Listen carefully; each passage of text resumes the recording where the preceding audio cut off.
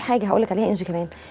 الناس بتيجي بعد أسبوع أو اتنين وتزهق من من الرجيم. آه. ليه؟ لأن مشكلتها ما اتحلتش.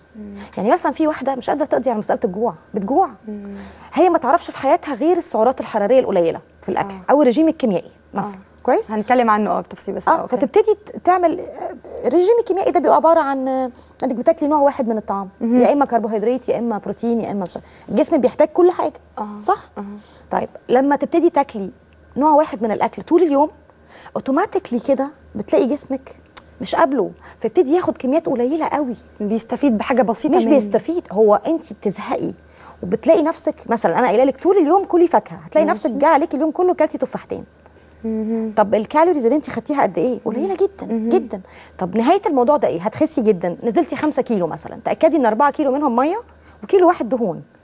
يبقى ال diet ده كان غلط. خلاص. خلصتي ال diet بتاعك حصل إيه بقى؟ أنت عملتي إيه في نفسك دلوقتي؟ قللتي معدل الحرق بتاعك من 20 ل 30% فممكن جدا أرجع لو لوزني. كده ممكن. ده بير- ترجعي في حالة شراهة فظيعة آه. لأن الحرمان الجامد قوي ده ما بينفعش. تلاقي نفسك بتاكلي جد كتير قوي قوي قوي وفي نفس الوقت بتتخني بسرعة جدا. يعني ما عملتش حاجة. بالعكس يعني أنت أذيتي نفسك أنت آه. أذيتي نفسك. فهو الحل إنه لازم يبقى balanced diet حاجة ما حاجة. calculated ومظبوطة.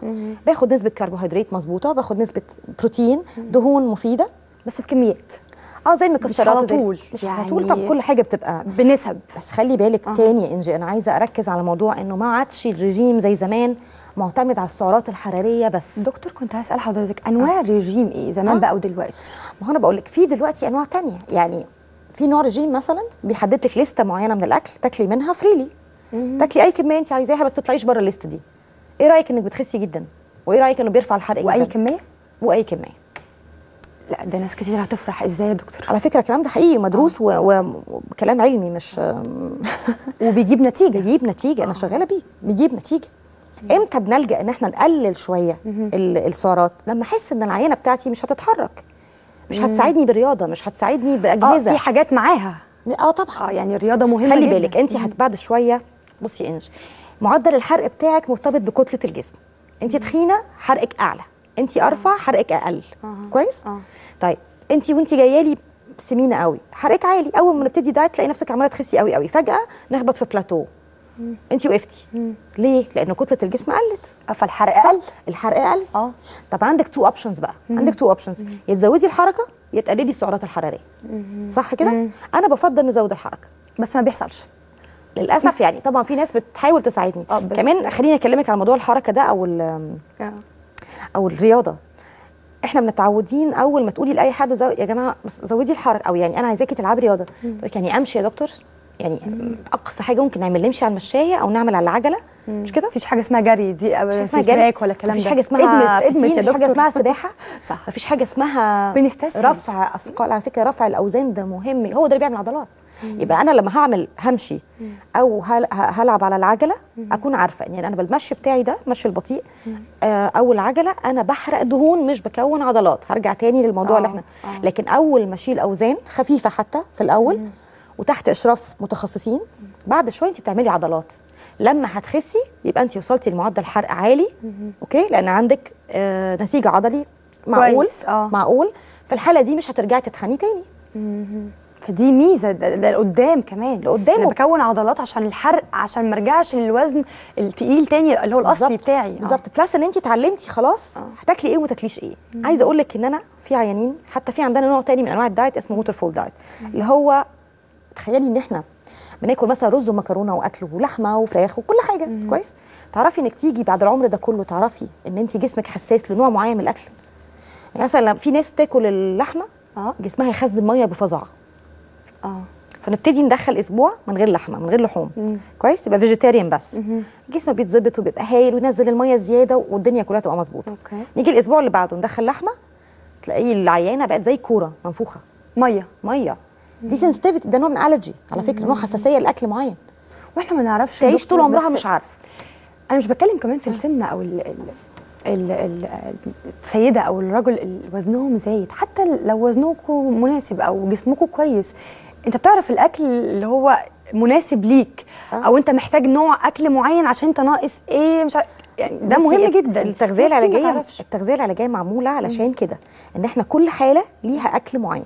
يعني أنا بتجيلي مثلا واحدة عايزة تخس عايزة تخس بس هي عندها أنيميا.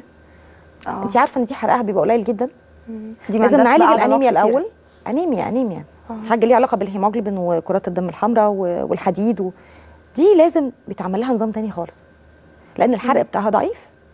فاهمه قصدي؟ كل حالة وليها طريقة يعني approach كل حالة وليها طريقة تتعاملي بيها معاها. كوليسترول مثلا عالي. آه سكر.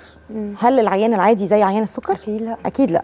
يبقى كل التغذية العلاجية معمولة عشان كده إني بتعامل مع كل حالة حسب ظروفها الصحية. دكتور آم، هنتكلم بسرعة شوية عشان عايزة اسال حضرتك أسئلة كتيرة جدا. اتفضلي، اتفضلي. بصراحه أنا حاسة إن كل السيدات اللي بتابعونا. نفسهم يسألوا الأسئلة دي.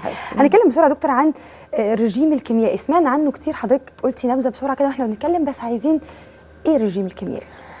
الرجيم الكيميائي كان زمان آه، إنجي كان هو المتعارف عليه وهو آه. سبب في تخن ستات كتير في مصر على فكرة. الرجيم الكيميائي طبعا. لأنه زي ما قلت لك انت بتاكلي من نوع واحد من ال... يا إما بروتين بس فترة طويلة يا إما كربوهيدرات بس فترة طويلة. الجسم محتاج كل حاجة. خلاص ولما بتاكلي بروتين بس بيبقى معاه دهون عالية جدا ودهون غير مفيدة كمان لأنه اللحوم بتحتوي على كده. لما انت بتاكليها بكمية كبيرة. بتاخدي دهون غير مفيدة كمان جسمك مش محتاجها مش محتاجها ومش محتاجها بالنسبة العالية دي في الوقت القصير ده. فلا يعني إحنا دلوقتي بالدراسة لقينا انه بعد ما بتخلصي ال- الرجيم ده انت بتلاقي نفسك بتتخني جدا لأن انت معدل الحرق بتاعك وطي قوي آه. من 20 ل 30% عن الطبيعي. بلس إن انت كل 10 سنين معدل الحرق بيقل 5% ده لوحده كده. يعني هو أصلا طبيعي. كله أضرار. يعني السؤال لا يعني اقصد مع السن والأضرار مع السن كمان إحنا كل 10 سنين من عمرنا معدل الحرق بتاعنا بيقل 5% آه فانت بتساعدي. نفسك كمان إنه حرقك يقل. في حين إنه أنا لا كل حاجة ربنا خلقها مفيدة. صح. بس يعني بنسب. بنسب. تخيلي مثلا أنا قعدت طول عمري مش مصدقة موضوع المية ده. مثلا أنا كنت قريت كتير يقول لا لازم كل حد يشرب كوبايتين مية قبل كل وجبة. أنا كنت متخيلة إنه المية بتملى المعدة بس بتملى فراغ. مم. كويس؟ فلما تيجي العيانة تاكل. مم. آه هي معدتها مليانة. ولا استني ليها 10 دقائق أو 20 دقيقة. آه. آه, بعد ما تشربي كوبايتين المية وبتدي كلي. آه. فبتبقى المعدة اتملت لأن المعدة بتبقى كبيرة. آه. هي عودتها على على كميات كبيرة من الأكل. مهم.